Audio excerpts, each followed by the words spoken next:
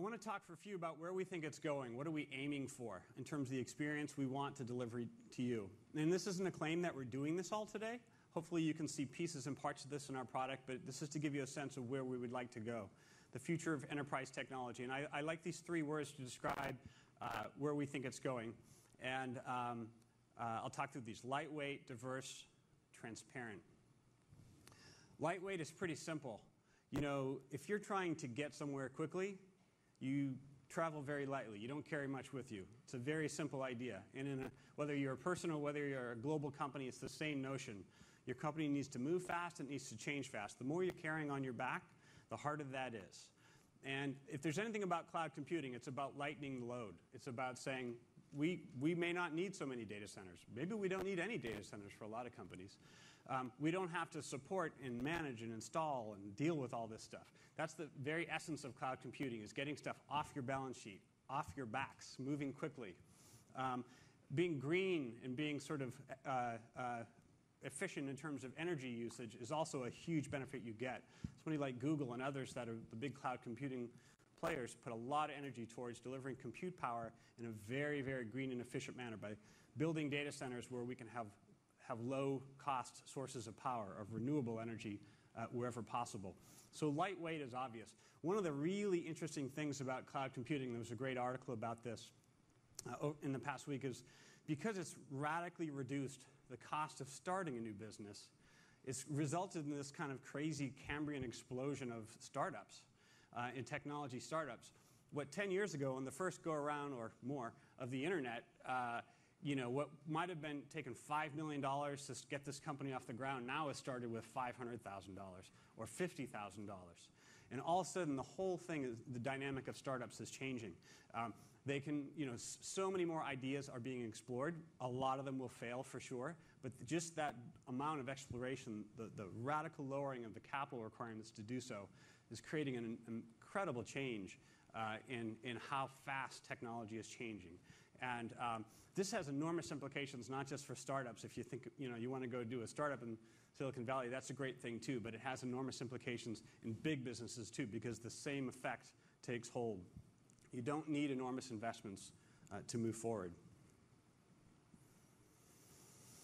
Diversity. Um, Stephen had a great slide on diversity uh, and how so much, so much you know, innovation comes from people talking to people that aren't like them, of cross-pollination of ideas from different domains. That's a very powerful idea. Um, in the IT world, it's kind of scary idea in many ways. IT, for many, many years, has been driven towards homogeneity and conformity. And for a lot of very good reasons, right? You you, you have buying power. If you buy all from one vendor, you have a standard image on your desktop or your PCs, et cetera. Um, it keeps your support costs as low as possible. Everybody's using the same thing. Sounds great, other than it's now become an antiquated notion.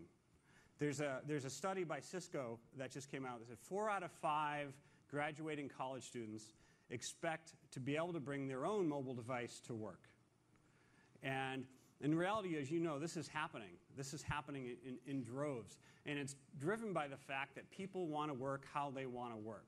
And it's kind of increasingly difficult for any employer to tell the employee, this is how you got to do it. This is the device you have to use. And this is how you're going to innovate at our company. And in reality, if you want to create an environment to attract the right people, user choice and diversity is important. And services need to be device agnostic. It's really impossible to say, oh, we're just going to have this service that only works on one device. It has to be this PC or that mobile phone, et cetera. People want to work where they want to work. And uh, that's really what the open web is about, is standards so any device can work.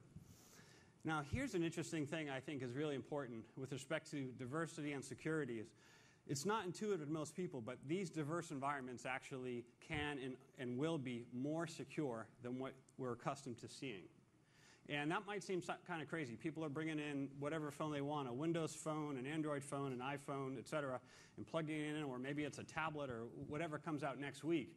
And you're going to plug it into your system and all of a sudden have access to their corporate data and getting their job done. And it's going to be more secure.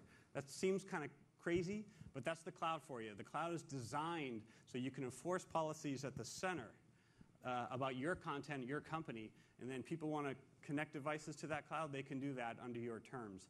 And that's actually uh, uh, not intuitive to, to people at first, but if you think about the old generation technology, it was designed for another world entirely. People sitting within one firewall. And uh, the world doesn't work that way anymore. So diversity is, is very uh, central to where computing environments are going. You can fight it for sure, and for some time, I'm sure you will hold to it. But the power of having an environment that people want to come out of university, out of other companies, come to your company, come to your organization and work means you're going to have to have an environment that attracts them. Transparency. Now, what this to me means is technology that's well designed should disappear. You should not be thinking about technology, you should be thinking about the idea. I, I, something struck me that, uh, about this. I, I, had a kitchen remodel done recently, and I was chatting with a carpenter just about whatever tools he was using. Why does he like this one versus that one? And he said something. He said, Well, when I use this one, which is the better tool, I don't think about the tool, I think about the wood. And it was of just a sort of, it just struck me right then. He really said something profound there. He's not thinking about the tool. Anytime you have to stop and say, what's this thing doing? Why isn't it working? What just happened? Is sort of a, a break in your, your, your process, it's a break in your, uh, your thinking, and it's a failure of the technology. And I don't claim that we are perfect at this, but our goal really is to not think about the technology. I think if we've done this anywhere, we've done this on google.com. You type in something, you're not thinking about what Google's doing. You're immediately into the results and where you're going. That is where we need to be. There's, there's, there's no synapse, there's no, there, there's no gap between your, your effort and your attempt to do something, um, and uh, as well as uh, uh, and your, the tool's ability to fulfill it. I should also say there's no distractions. This really means the technology should be only what you need and nothing more. And I don't think the history of enterprise technology has ever given this even a single bit of consideration. More features, more functions are not always a good thing. More features, more functions are not always a good thing. It may not seem obvious to you, but every bit of something on a screen is attracting user attention and taking your attention away from something else.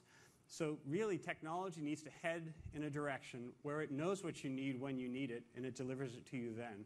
And you can focus on what you're doing and not hunting through menus of buttons, et cetera, to find where you want to go. And actually, this is really important. More team, less work. The, the tools should be empowering. They should even be fun. Nobody would ever say, I've never gotten an RFP that said, must be fun, you know. But realistically, these are people's lives. We all spend enormous fraction of our waking lives in the workplace, and it should be enjoyable. You should have an environment and a tool set that people want to, to work in, because that's, that's when they really start to get things done. So what, what is our approach to innovation that I think is unique and different? Um, Google is definitely, having been here almost eight years now, a very different company. And we think about it very differently. And I think big bets are a good way to think about it. Um, if you said, you know, what do we focus on at Google? What does Larry want us to do? We, we tend to focus on things that nobody else in the world wants to take on. I think that's the simplest thing. Hard computer science related problems that most people would say, you know, no thank you. And that sort of are things that immediately attract uh, Google. A few examples from history. If you go back to April 2004, um, you know, webmail the, day, at the time was four or six megs of storage. You know, we get single emails bigger than that now for sure. But people would spend most of their time deciding what to delete and keep just so they could continue to receive email. And we launched a gigs free storage for Gmail. It was not our brightest moment to do it on April Fool's Day. Um, people didn't know whether we were joking or not. But as it turned out, we weren't joking.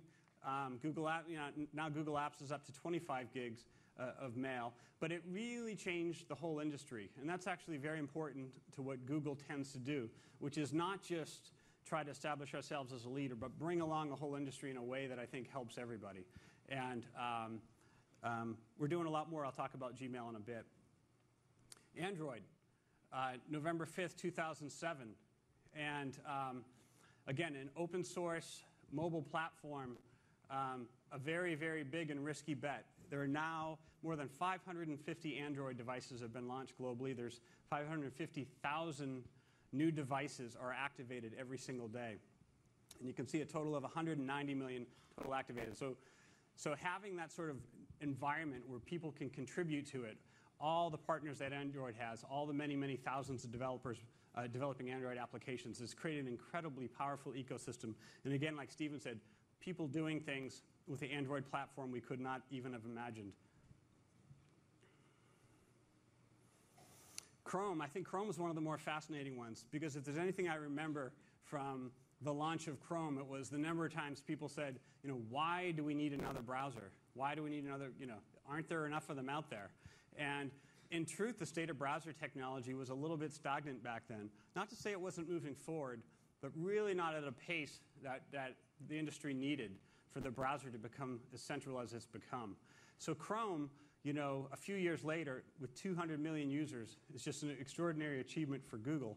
Having said that, it's also a great achievement for the industry. If you look how much innovation is going on across all the major browsers, how fast HTML5 is coming into being, an open standard that any browser can implement and any website can implement, and how fast this all moving now.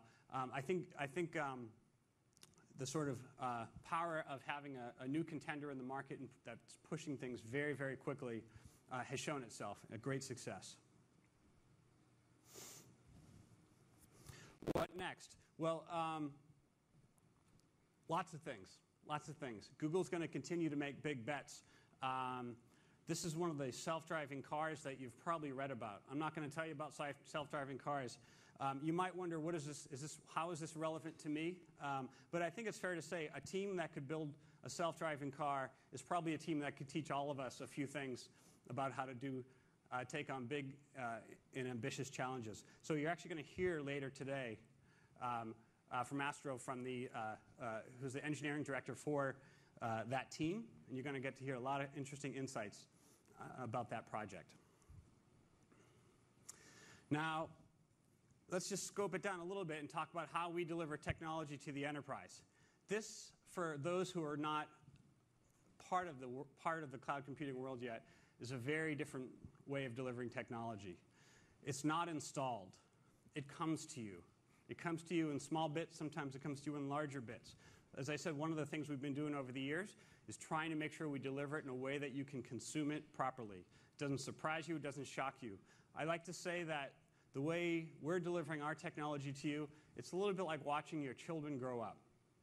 You don't sort of day to day notice any change, but if you went away for six months and you came back, you'd hardly recognize them. And that's the way it is. The technology just gets better each, each and every day. All you have to do is to refresh the browser. So I'm going to show you a simple example. In the last 30 days, the last 30 days, what, what we've delivered that's new. An all new Gmail. It's only opt in for now. So, uh, how many have opted into the new Gmail? All right, we got a very uh, progressive crowd here. Seems like the vast majority. We took those lessons to heart. Less is more. It's simpler. There's less on the screen. It lets you focus on the content and what you're doing. Um, but it's actually much more sophisticated than the old Gmail, probably the most sophisticated HTML5 application in the world. It actually adjusts itself to the size of your screen automatically. If you're a person who uses a lot of labels, you can expand and expand that space as much as you want. If you prefer to you do a lot of chats, you can use the space that way as well. Um, if you like priority inbox, you can switch back and forth between different views of your inbox in just a second. You don't have to choose them uh, in advance. Um, so this is a completely new Gmail. I would encourage all of you who haven't yet to give this a try. Change is always a little difficult for some people, so we don't expect everybody in the world to love the new Gmail. But it's really show, give you a sense of the direction uh, we're going. Email is something um, you hear a lot of stories about. You know, people aren't using email anymore.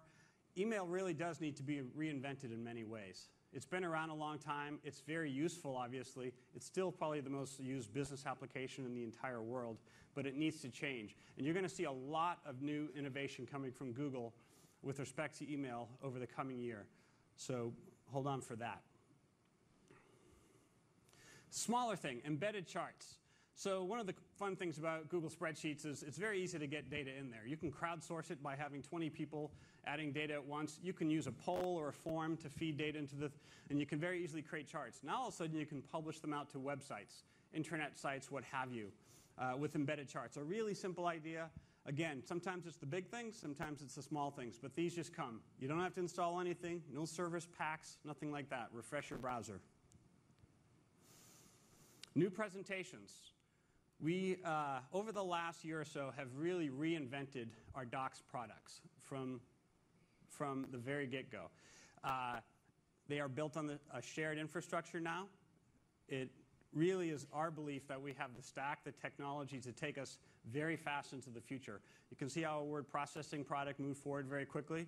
And then our spreadsheets, we just have launched, again for opt-in if you haven't tried this yet, a completely new from the grounds up presentation product. Really designed around making perfect, perfectly beautiful presentations, fast, simple, collaborative again, all about not just one person building a presentation, but people working together. And this is, again, just the beginning of what you'll see from us uh, around our presentations product. Here's another simple, small thing. How hard is it, when, how much of a pain is it when you have five or six or eight people and you need to schedule a time for them to meet? Calendar products have been doing this the same way forever. We just added suggested times in Google Calendar. Very simple way to say, here's some times when everybody can meet, take your pick. And um, again, all in the last 30 days, just new features uh, keep coming. And here's a big one Google Plus. Uh, in the last couple of weeks, we just made it available to our, our Google Apps users, both businesses and schools. And this really, I think, indicates as much as anything the direction that Google's going. Not so much Google Plus as a destination or as a service, but really socially enabling all parts of Google and really changing the direction, the trajectory of the company to become very, very people centric. And this is a very exciting time in the consumer internet with all the different choices out there and how quickly things are evolving. It's definitely an exciting time. But I think it's going to be just as important, just as compelling for the business users, for the organizational users, uh, to really socially enable your organization. And the way I think about this is this isn't kind of like a fancy extra, a little place you go once in a while when you want to check a stream or something. This is going to be at the very core of what you would think of as a business productivity suite. The ability to share, to have multi person video, to be able to push documents and concepts and crowdsource ideas and get help and find experts all in one place, all in the tools you already use. That's what this is about. We're at the very early stages of Google Plus. We're at the even earlier stages of Google Plus as part of socially enabling the enterprise. But you can expect things to move very, very quickly. And the capabilities that we bring together here, along with our productivity apps, I think are going to be pretty, uh, uh, pretty enormous change for the industry. I can tell you for sure that within Google, it's just amazing. We can't imagine life before, before Google Plus. A couple last things, and then I'll wrap up. I realize I'm out of time. Um, a couple of new things just this week. Um, they never stop coming. So we've had for a while in Google Apps ability to manage mobile devices. If you have all these diverse devices coming in from around the world, the old-fashioned way of managing devices just seems kind of crazy. You're going to set up servers and somehow register them all with the servers and give them back to the people and forget it. It's not going to work. So we really said, no, you ought to be able to manage devices, enforce policies from the cloud, and we've been doing this a while. Uh, but and, and, not just for Android devices, of course, for iPhone or iOS devices as well as Windows Phone devices and others. Um, but the idea being from the cloud, you can decide what your policies ought to be. You can enforce passwords or strengths of passwords. You can wipe devices that are lost. You can locate lost devices using Google Maps. All very simple ideas. This week, we're making a very significant upgrade. You can actually begin through a dashboard to see how your users are going mobile. The whole world's going mobile. You ought to know what's happening inside your company. And you can also set policies down to a group or down to an individual level. So really having more flexibility there. But a simple notion again, no need to install software, buy servers, all that stuff. Do it from the cloud. It just works. We're also, uh, if you follow our platform site, a lot of forward progress on making Google's computational power available to developers out there. It's been our goal to really let people develop products the same way our own engineers do. And uh, BigQuery, which is really a, a, a SQL type ad hoc queries into very, very large data sets. It's being made available to a lot more companies of all sizes today. You'll see a blog post about that today uh, if it's not out there already. But we're not talking about just a lot of data. We're talking about a lot of data. Think about 60 billion rows, 70 terabytes of uncompressed data, and being able to do queries on that ad hoc in a matter of seconds. Very, you know, things that you've just dreamt about in the past, and things that you would have to spend just incredible amounts of money uh, in order to build out and, and do yourself. So BigQuery is getting a big upgrade this week, and hope you, you can come check that out. Um, Amit mentioned all this stuff today. We're going to show you a lot about our devices, our Chromes in just a minute, Chromebooks, and we're also going to uh, uh, show you a lot about our apps and our social such stuff. And, uh, and there's also some sessions tomorrow on all these areas uh, if you want to uh, stick around tomorrow and go into some of the product breakouts. Today, what you'll see, as I mentioned, Chromebooks, which we're going to get to in just a moment, making a lot of progress around you know, devices that were designed with the internet in existence. Can you imagine that? Um, designed for the internet completely. And uh, we're going to get there in just a second. You're going to see some uh, fun stuff about Google Apps, which I'm sure a lot of folks in the audience are already using. We're going to show you where we're headed there. And of course, Google Plus, which there's an incredible amount of interest uh, in. So, um, and I will say, first of all, I want to say thank you. And I also want to say, because we want you to experience this, at the end of the day today, everybody here is going to get a Chromebook that you're going to be able to experience pure internet, uh, and a device designed for the pure internet. That is, assuming your policies allow you to accept this as an evaluation unit. Let us know about that. We don't want anybody getting in trouble. So, with that, I want to say thank you. And uh, I'm going to bring up Rajen Sheth.